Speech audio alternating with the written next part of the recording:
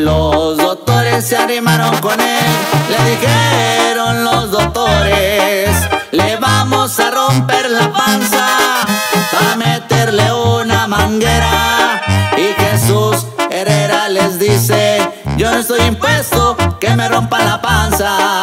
Y así suena la inconfundible banda real. Y esto